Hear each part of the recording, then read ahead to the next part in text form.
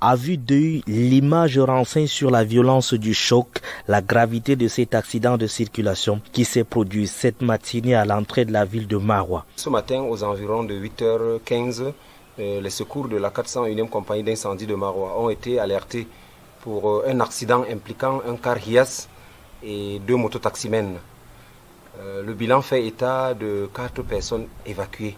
Parmi les quatre personnes, il y a le conducteur du car Hias, et son motorboy et les deux conducteurs des motocyclettes. Ce véhicule de marque Toyota, dans sa course folle, va percuter deux mototaximènes, bilan quatre victimes graves sur le carreau. À ce moment, euh, euh, le motocycliste qui a eu sa jambe amputée a succombé à ses blessures.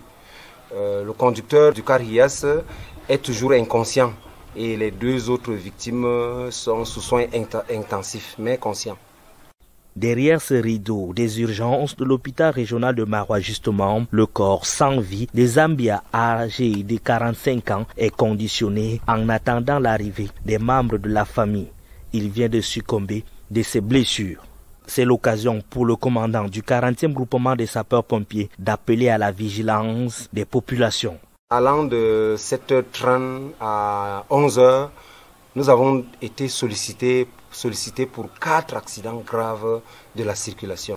Les accidents dans la ville de Marois, les accidents impliquant les motocyclistes constituent un sérieux problème de santé publique. À ces mototaximènes, à ces usagers de la route, y compris la population, je les invite à rouler à faible vitesse, à respecter le code de la route, à éviter les surcharges, bref, à respecter le code de la route. Cet accident grave impliquant un véhicule et deux motocyclettes vient de porter à quatre le nombre d'accidents qui s'est produit dans la ville de Marois aujourd'hui entre 7h30 et 11h.